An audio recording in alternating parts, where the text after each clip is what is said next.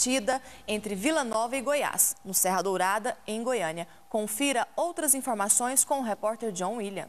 A Polícia Militar já definiu que 500 homens vão trabalhar na segurança para o clássico de domingo entre Vila Nova e Goiás. Outros órgãos também vão dividir a responsabilidade no que se refere à segurança a Agência Municipal de Trânsito, a Companhia Metropolitana de Transportes Coletivos, a Polícia Rodoviária Federal e a Polícia Civil. A Polícia Militar, então, vai estar fazendo um trabalho a partir das 13h30 horas, de maneira que desde a saída dos bairros até o Serra Dourada, nós vamos estar aí com todo o efetivo, monitorando, acompanhando e conduzindo os torcedores, né? a partir do momento que eles começarem a se aglomerar, as presidências das torcidas já estão sendo contactadas para definir o horário e o local onde eles irão se aglomerar. Nós estaremos aí com a cavalaria e o giro fazendo esse acompanhamento até as dependências do Serra Dourada. Como é que a polícia mapeou o estádio, né? Para onde vai cada torcida?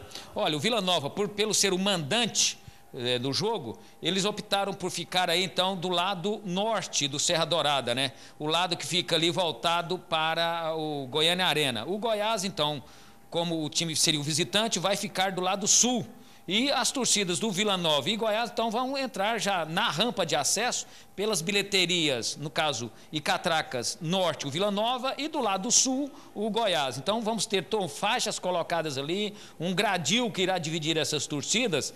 Então nós orientamos, quem for torcedor do Goiás vai ficar do lado voltado para o Flamboyant ali. E o pessoal do Vila Nova vai ficar voltado para o posto Z mais Z, o lado ali do Goiânia Arena, o ginásio.